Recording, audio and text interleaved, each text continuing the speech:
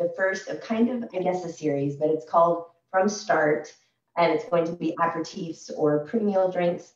And then at the end of the month, we'll be doing to finish, which will be digestifs or after meal drinks.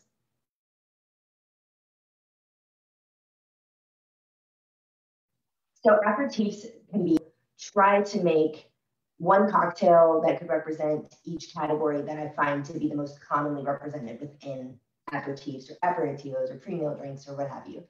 Um, but for those of you who don't know what those are, usually a pre-meal drink is something that's used to kind of spark your appetite, make you hungry or excited about the meal. And they can be, but not always. This is kind of a not a hardline rule, but for the most part, they tend to be a little drier, less sweet. Um, they also tend to be a little bit lighter, whether that's in flavor or in alcoholic content. And that's just because things like sugar and high alcohol contents really fill your stomach up, which isn't very helpful if I'm also trying to feed you. So the three categories that I figured we would go through today, we'll be doing something that's considered alcohol forward, even though it is alcohol forward, it would still be an aperitif because the ingredients in it aid with starting your digestive tract to really be hungry. We'll be doing a sour, which things that are sour and tart, as long as they're really nicely, nicely balanced, they taste good, but also they help your mouth salivate. They indicate that something's happening to your brain and it just makes your mind and your body look for the next flavor. So sours are a great way to do an aperitif. And then we'll be doing kind of a take on a spritz. Spritzes were made very popular by Aperol. They're usually a lower ABV cocktail and they usually have like champagne and some kind of liqueur and we're gonna kind of play around with that today.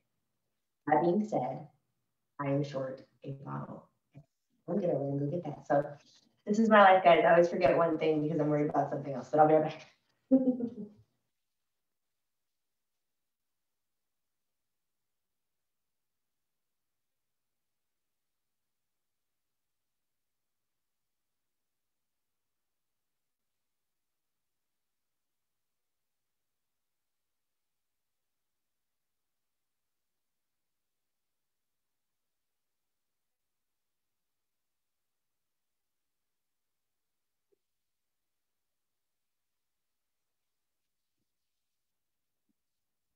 right, that's how you get your cardio. I ran up and fly upstairs.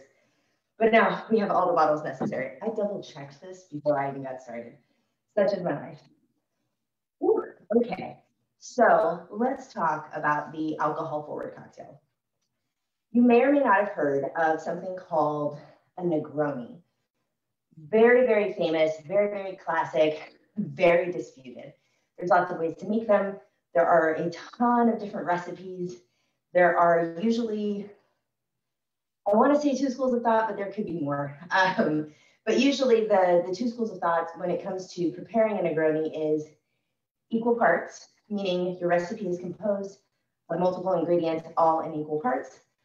Or you can have a recipe that's just built to adjust to the ingredients. So for example, a classic Negroni would be gin, Campari, and vermouth. So if it was equal parts, they might all be one ounce. But if you were from the other line of thinking, then it might be an ounce and a half of gin.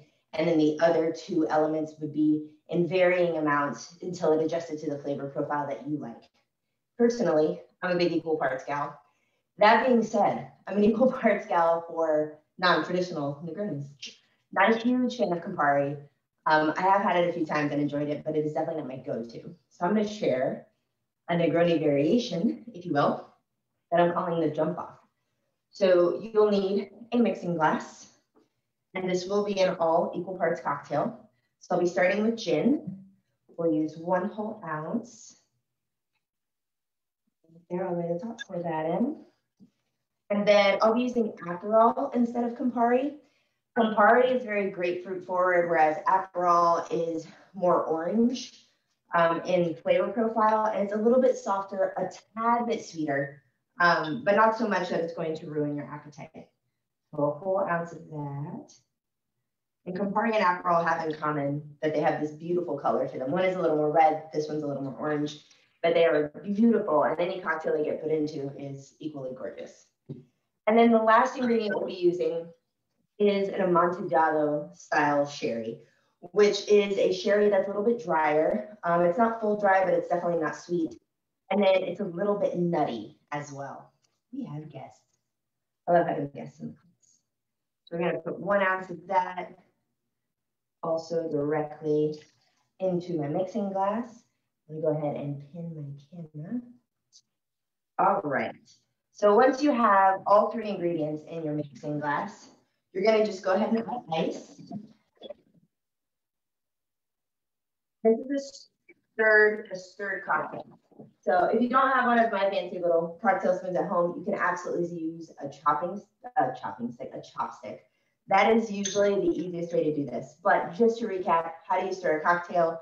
You take the concave part of your spoon, you put it inside your mixing glass, insert it down, and just kind of trace the inside of the glass. The first few times you do it, it'll always feel a little weird, um, just because it's a little different than stirring, say, pasta sauce, or maybe your milk and your coffee. But once you get the hang of it, it becomes a very natural motion. And you'll see that it's mostly in my wrist, my shoulder, and my elbow don't move all that much. But you want to stir for about 20 to 30 seconds. And that's just so that you get a really nice mouthfeel and that the cocktail is properly diluted. So once we have that, I'm gonna take a rocks glass and then a larger format ice cube that I made with one of those like one by one inch um, ice cube trays. I'm gonna go ahead and strain that directly over. Do this really pretty orange color. And Negronis traditionally have an orange garnish. Some people prefer to just use the peel, some prefer the entire fruit. I personally love putting the entire slice of orange in there. It soaks up all those flavors and it's really tasty treat afterwards. But in the interest of contrast today, my garnish is just gonna be a lemon wheel. Real simple, slide it in like that. Easy peasy, lemon squeezy. So it's fruity, it's lightly floral, it's very light and refreshing, even though it's got all those different boozes in there. This just tastes like it could go on its own. It would go really well with a salad. If you're doing something small to start, this is a great pairing. Yeah, it's very tasty. Mm -hmm. I like that a lot. All right. Moving on, we're going to make a sour. And sours traditionally are 99% of the time a shaken cocktail. And that's just because citrus juices benefit greatly with a lot of aeration. So you will need a shaker. And this one's gonna be tequila based. Now, even though I'm making a sour, I could make a daiquiri, I could make a whiskey sour, and technically those would be sours, but I wouldn't really qualify those as an aperitif because the alcohol content on those is usually pretty heavy.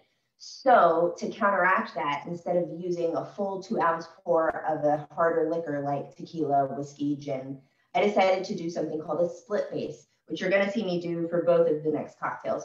So what that means is if I have a two ounce pour that I want to use, I'm gonna take one ounce and make it the harder liquor and then one ounce and make it a lighter liquor. So in this case, I'm gonna use one ounce of a silver tequila. Pour that into my shaker tin. And then I'm gonna use the bottle that I ran all the way downstairs to get. I'm gonna use one ounce of dry vermouth. Put that there. And so that's my lower ABV. That's the tequila. This one comes in at, I think 40. Not entirely sure right now. I can't read. Um, but yes, usually tequila is at about 40. And then this is at 18%. So it's a very significant difference. So one and one. And then I'm going to use a half ounce of ruby red grapefruit juice. And then I'm going to use a quarter ounce of agave syrup. And now a lot of sours will usually have lemon and lime. Grapefruit's really nice. It's a little harder to mix with because that acidity isn't there. But vermouth is really nice, especially a dry vermouth like this one. It'll have a little bit of acidity. It'll also have a tad of sweetness. So I'm able to dial back the amount of sweetness I would traditionally put in a sour, and I'm able to change the citrus for something a little bit different. In this case, the grapefruit. So I'm gonna add some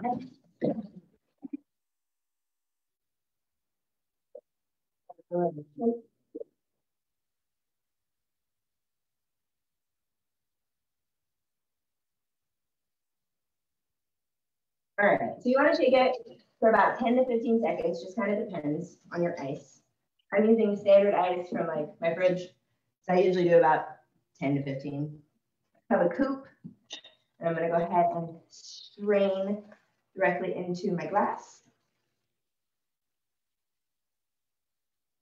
And this is what I call a fresh start. I'm going to be garnishing this with a grapefruit wheel that is much larger than my glass because I found a massive grapefruit, guys. Grapefruit was huge. But there you go, guys. Look at that. It's pretty in pink. Would that be a good name too? Pretty in pink. Mm. So this is also really nice, really, really subtle. It tastes like something you could totally get away with drinking in the morning. Um, your choice of vermouth and your choice of tequila are going to be vital. If you choose, like this tequila is a little bit more vegetal and strong in flavor. It's definitely a little more nuanced than say maybe a lower shelf tequila. And then your vermouths are wildly different across the board, whether they're Italian, whether they're French, it's like wine. They're all different. Vermouth is a type of wine. So the botanicals and the flavoring agents that they use and whatever vermouth you pick are really going to alter the cocktail because there's only so many ingredients that are in here. So every single one of them matters. To choose wisely, but make the cocktail anyway. Mm-hmm. and last but not least, we are going to make what I'm calling an open invitation. And this is going to be a spritz. So traditionally, spritzes are built in the glass. And what that means is you don't use a shaker, you don't use a mixing glass, you literally pour all of these ingredients into a glass. And I'm a really big fan of the traditional Aperol Spritz recipe, um, mainly because of the way they build it. So if you ever have a bottle handy, the recipe is actually on the back. So it'll tell you um, to fill a glass with ice, combine Prosecco, Aperol in equal parts and a splash of soda. But if you look on their website, um, and most Italians that I've ever talked to or worked with, they always say to follow the three, two, one rule. So it's a three, two, one rule, and you have to imagine that you're taking whatever your spirit is and putting it to bed. So you lay your ice, and that's your bed. And then you put in your three ounces of Prosecco if you're making a traditional one. That would be like your sheet and your pillow. And then you take your spirit in the place of an Aperol spritz, it would be Aperol, and you lay it in the bed. And then you top it off with one ounce of soda, that would be like your blanket. So three of Prosecco, two of Aperol, one of soda. So I'm kind of following that tradition, but using different ingredients. So I have this glass that I've already kind of garnished, and that's got a bunch of poppy seeds on it. Um, and that's mainly because poppy seeds are one of the ingredients in one of the liqueurs that I'll be using. So I'm gonna put ice in my glass. I'm gonna use pebble ice because I can, and it's amazing. I love pebble eyes. I love pebble eyes, guys. It's the same thing. Okay, so here we go. We're gonna use three ounces of a dry apple cider or dry cider. This one's local to Texas, but you could use any kind you want. That being said, most of the ones on the market, like off the top of my head, like Angry Orchard, way too sweet, way too sweet. So if you don't have access to a dry cider, you can use a light beer. You can use a brut champagne, or you can just absolutely sub out the entire um, cider for soda if you want an even lighter beverage. So it's one and a half. And I'm gonna do one and a half more, bring it open to three. And we're using dry again because aperitif, we wanna stay away from that sweetness so that we're still hungry. I've got three in there. And then I'm going to use a split base again. I'm going to use, ooh, this glass may not hold it. I think I have a little too much ice in it. Let's just take some of this. Couple ice takes up a lot of space. It is so, so tasty and great, but it takes up a lot of space. That's how this guys.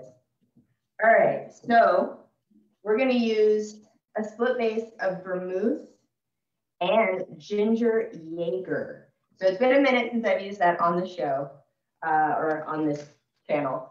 Um, so it's dry white vermouth, and then Jaeger makes a Jaeger called hot ginger or Scharf. Um, not a huge proponent for Jaeger. Um, their classic presentation is probably my, not my favorite, but this one is actually really, really good. Um, so I'm gonna use one ounce of that. And this is where that poppy seed garnish was inspired. So one of the ingredients in Jaeger happens to be poppy seeds.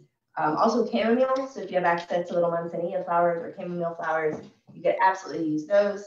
And then I'm gonna top off with one ounce of soda. And I'll just it. I know what looks like, guys. All right. So as you can see, I built that in the glass. And then on just a personal note, you could absolutely serve it like this, but I like to give it a stir. And the proper way to stir a cocktail like this is to do something called a lift, where you take your spoon, insert it, give it kind of a flick of the wrist, and just lift the spoon up. You definitely don't want to aggressively stir the cocktail because you want to protect the bubbles at all costs. Yeah, a couple times, four or five times should be good, should be all stirred. And that, guys, is an open invitation you drink a lot more aperitifs and enjoy your meal afterwards. Oh my God, that's so good. Mm. So this is surprisingly, surprisingly light tasting. This is one of those drinks that someone could serve it to you and you may not think there's alcohol in there because the flavors we're working with are really, really subtle. So the cider not being overly sweet doesn't taste a lot like juice. This just tastes like a really light, refreshing soda. Um, so it is really, really nice but it is also very sneaky. Aperitifs are not meant for day drinking or binging or, you know, just continuing to drink like this all day. They're specifically designed to increase your appetite and pair with possibly the first part of your meal. So please explore. If you would like to learn more about classic aperitifs, I can absolutely send you guys to websites, send you guys recipes um, for all of these.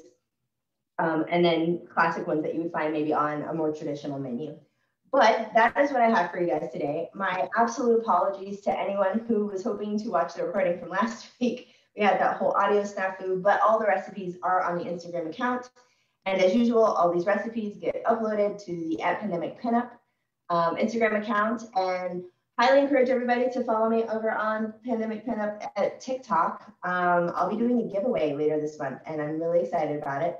But it'll be specifically for people supporting me in my social media needs to try to help grow my brand. But thank you as always for stopping by, and I will see you all next Sunday. Cheers.